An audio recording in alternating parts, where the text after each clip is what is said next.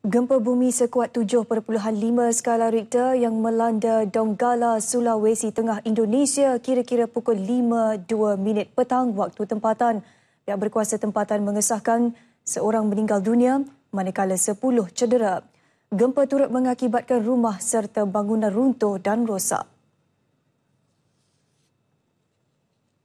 Kementerian Luar dalam satu kenyataan mengesahkan tiada rakyat Malaysia dilaporkan mengalami kecederaan atau terkesan secara langsung akibat kejadian itu setakat ini.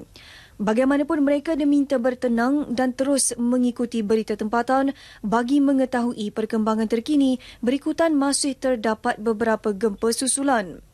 Kementerian Luar melalui Kedutaan Besar di Jakarta dan Konsul Kehormat di Makassar telah berhubung dengan para pelajar Malaysia yang berada sekitar Makassar bagi memastikan keselamatan mereka. Bagi rakyat Malaysia di sekitar Sulawesi Tengah yang memerlukan bantuan konsular, diminta menghubungi pihak Kedutaan Besar Malaysia di Jakarta menerusi email dan nombor telefon tertera.